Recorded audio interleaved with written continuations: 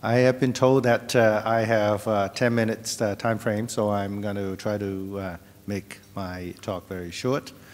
Um, but I wanted to, first to mention that uh, I'm uh, owner of a small business, and I don't know if there are many small, medium-sized business owners in the audience. Maybe, maybe some of you are small and medium-sized business owners. Do I see some hands there?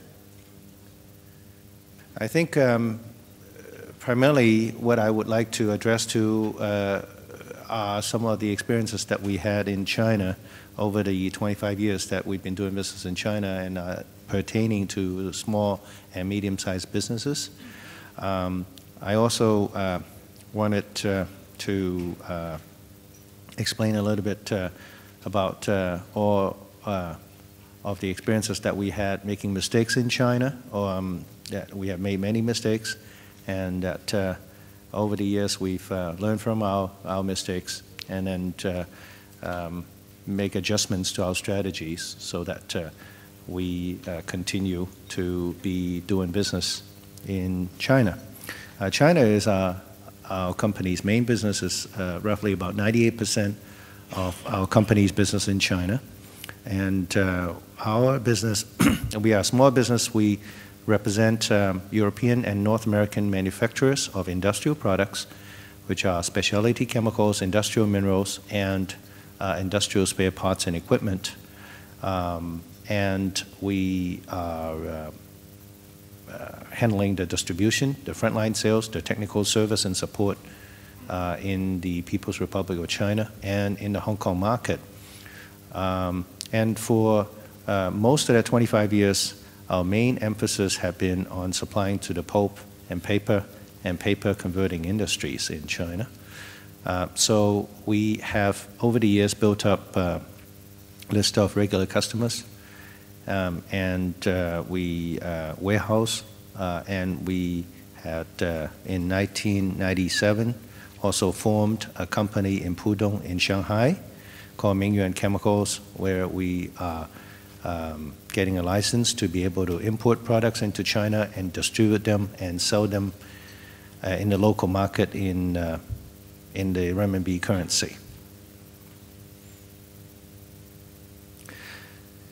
And uh, during that time that we worked in China, um, most of the first uh, 15 years were very, very difficult because uh, China was having chronic shortages of uh, foreign currency and uh, most of the purchases were central planning. So in the first um, 15 years, I had uh, mainly been traveling to Beijing. Um, but the, the business that was done um, was very highly regulated. Um, and there was very little growth. Uh, and some years the business were slower than others, but primarily China was uh, importing very, very little. Um, and uh, I think that uh, our business growth really uh, started to uh, become somewhat more significant, um, say, starting about uh, the year 2000. In 2001, uh, we saw this growth coming in China, we decided that it was the right time to put in a large operation in the number one um, business and financial city in China, which is Shanghai. So we uh, invested um, in uh, a fairly substantial size office, which was opened in 2001. Uh, from 2001 until November last year, um, we had made a lot of effort in running the Shanghai sales and marketing and business office. Um, and in November of last year, we decided to move that sales and marketing business office back to Hong Kong, where our corporate office is. There are many reasons why we um, did this. Um, And I do not think that we have enough time to cover all the different reasons. Um, so I wanted to just to say that um, perhaps we can address them in the Q&A a little bit about some of the reasons, but uh, the short end of the uh, um, of the, this issue was that we have found this to be the right move, and uh, that uh, when we uh, look back at it now, roughly a year now after we moved um, from Shanghai back to Hong Kong. Now, keeping in mind that we still keep um, we still keep the office in Shanghai, um, and we still kept about 40% of the staffing in the office in Shanghai. But also keep in mind that uh, throughout that uh, 2001 to 2007 time frame, when we had our office in Shanghai, we were never able to hire sufficient staff to fill all of the positions that we had. So we were on a hiring campaign all throughout that uh, six years. We were never able to hire the sufficient staff that, that we wanted to have. So anyway, going back to 2007 to now one year looking back, we felt that we did the right move. I think that uh, it has addressed some of the difficulties that we encountered in China and that we were able to focus a lot more our attention on actually uh, our business and uh, moving business forwards. Um, and I think that this was um, a, a, correct strategy for us. Um, and um, I also wanted to mention that uh, we, as a Hong Kong headquartered company, has benefited greatly from um, using Hong Kong as a base for doing business with China.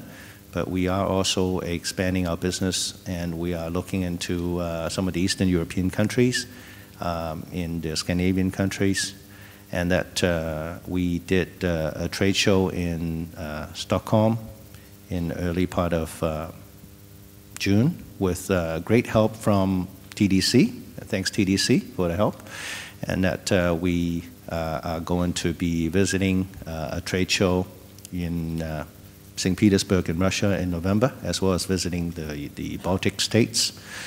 And we feel that uh, there are a great deal of benefit to be had for a company to be working um, through Hong Kong uh, and harnessing the benefits of China and, um, and Asia. And um, we also had uh, uh been asked a little bit uh, about um, the work that we do as compared to many of your business involvements in China. I know many of you had uh, done business with China, but the business that I have done had to do with selling in China and exporting European and North American products in China. And uh, this uh, had uh, actually been opposite the trend of most companies which have been buying products from China and exporting to, um, to Europe. But uh, you know, at the way that how economies are right now, I think more and more companies uh, are going to be looking at how to sell uh, into the China market. So I would welcome um, any questions that you have further down the line.